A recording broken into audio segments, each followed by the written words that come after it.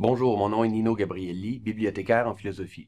Dans la vidéo d'aujourd'hui, je vous parlerai de bibliographie et de base de données. Il peut être pertinent, lorsqu'on débute une recherche en philosophie, d'utiliser des dictionnaires et des encyclopédies spécialisées pour se renseigner sur les principales articulations d'un sujet, ou plus simplement, pour trouver quelques grandes références bibliographiques. Parmi les grands ouvrages de référence à notre disposition, mentionnons en français l'Encyclopédie philosophique universelle, disponible en version imprimée à la Bibliothèque des lettres et sciences humaines, ou la Stanford Encyclopedia of Philosophy, disponible en libre accès sur le web. Une autre très bonne façon de commencer une recherche est de consulter une bibliographie ou, si l'on veut, une sélection préétablie de documents sur un sujet donné.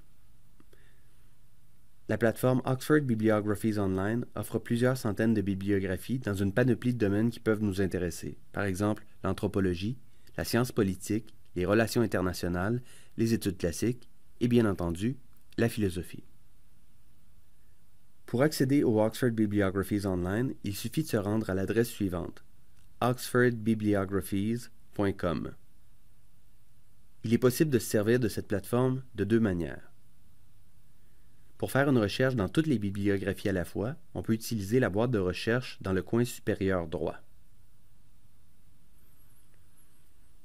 Pour consulter les bibliographies exclusivement consacrées à la philosophie, on doit sélectionner la section à cet effet sous Browse by Subjects.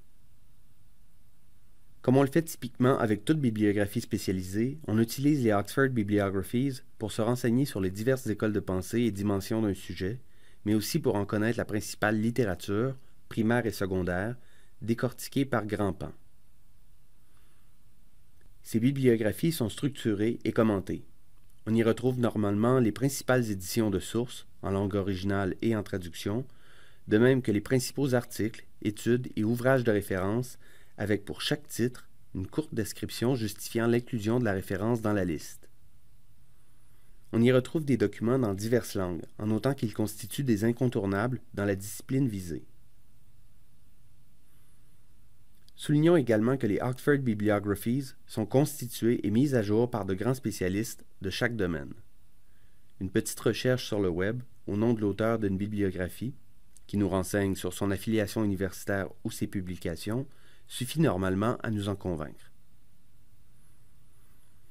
Que vous ayez un travail de session à faire au bac ou que vous commenciez à faire une recherche au cycle supérieur, c'est assurément un outil à connaître et à explorer. Les bases de données bibliographiques permettent quant à elles de repérer efficacement et de manière exhaustive des articles de revues scientifiques. Le grand avantage des bases de données spécialisées, c'est de vous renvoyer des références bibliographiques à toutes sortes de documents à partir d'une recherche par sujet, et non simplement par mots-clés, comme on le fait sur Google ou sur une plateforme comme JSTOR, par ailleurs très utile et pertinente. Qu'est-ce que cela signifie? Ce n'est pas parce que l'on trouve par exemple le mot scepticisme dans le texte intégral d'un article que ce dernier traitera nécessairement de ce sujet. Par contre, si vous cherchez dans une base de données en entrant ce même terme dans le champ sujet, vous trouverez tout ce qui traite explicitement et principalement du scepticisme d'un seul coup. Les bases de données spécialisées sont faites sur mesure pour les besoins de la recherche universitaire. Elles déploient systématiquement les plus grandes revues scientifiques dans un domaine et elles organisent l'information dans des fiches bibliographiques pour chaque document. En philosophie, une des principales bases de données à consulter est le Philosopher's Index. On peut y accéder par la liste des bases de données des bibliothèques de l'UDM, en sélectionnant les ressources en philosophie, ou simplement en tapant cette adresse www.bib.umontréal.ca barre oblique phi barre de soulignement ProQuest. Reprenons l'exemple d'une recherche sur le scepticisme. Si on entre le terme en anglais, on obtient plus de 8900 résultats de recherche. Si on relance la recherche en spécifiant que ce que l'on désire, ce sont des documents dont un des sujets principaux est le scepticisme, on obtient un peu plus de 6000 résultats de recherche qui seront par ailleurs beaucoup plus précis. Si l'on ouvre la notice d'un article, on verra que le terme fait effectivement partie des sujets principaux qui ont été accolés au document. Vous remarquerez que le Philosopher's Index recense des documents écrits dans de multiples langues. Il importe ici de noter que si on fait une recherche par sujet dans cette base de données, ceux-ci doivent être entrés en anglais, peu importe la langue des documents recherchés. Vous constaterez en effet dans les notices que tous les sujets sont habituellement signalés en anglais. Si on ne fait qu'entrer des mots-clés, on est évidemment libre de le faire dans n'importe quelle langue. Notez qu'une base de données comme le Philosopher's Index comprend des références à toutes sortes de documents, articles, chapitres de livres, comptes rendus, etc. Une fois la recherche lancée, il est possible de trier les résultats avec les filtres à gauche de l'écran.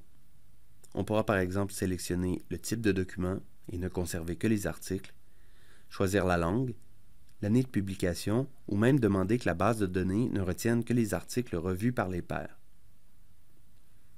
Il faut cependant rester vigilant. La fonctionnalité qui permet de trier les articles revus par les pairs est purement automatisée et on doit donc l'utiliser avec précaution. Une fois que vous avez trouvé un article qui vous intéresse, vous pouvez utiliser le bouton Obtenir pour savoir si nous avons accès à une version électronique de l'article à l'UDM. Si c'est le cas, vous n'aurez qu'à cliquer sur Voir le texte intégral pour accéder facilement à l'article. Il arrive parfois que nous n'avons pas accès à une version électronique. Il est à ce moment possible de cliquer sur Vérifier la disponibilité dans votre catalogue de bibliothèque pour voir si nous avons accès à la version imprimée de la revue. Dans ce cas-ci, on voit que ce n'est pas le cas. Il est alors possible de faire une demande de prêt entre bibliothèques. Il existe d'autres bases de données pertinentes en philosophie, par exemple le répertoire bibliographique de la philosophie, accessible, tout comme le Philosopher's Index, par la liste des bases de données des bibliothèques de l'UDM. Varier ses recherches dans différentes bases de données donne non seulement accès à des fonctionnalités de recherche différentes d'un outil à l'autre, mais aussi carrément à d'autres sources documentaires, les bases de données spécialisées dépouillant chacune un ensemble de revues scientifiques qui leur est propre. Des plateformes de revues comme Erudit, Kern ou JSTOR sont également très pertinentes pour accéder rapidement à de la documentation. Ces outils ont le grand avantage de donner accès au texte intégral des articles mais n'offre cependant pas des fonctionnalités de recherche aussi intéressantes que les bases de données spécialisées. Il est par exemple impossible, dans ces outils, de faire des recherches systématiques par sujet comme dans le Philosopher's Index, et les numéros les plus récents des revues ne sont parfois pas disponibles, tout particulièrement sur JSTOR. À vous de déterminer quel outil vous convient le mieux selon vos besoins. Comme toujours, n'hésitez pas à communiquer avec moi si vous avez des questions au sujet de ces outils. Bonne recherche.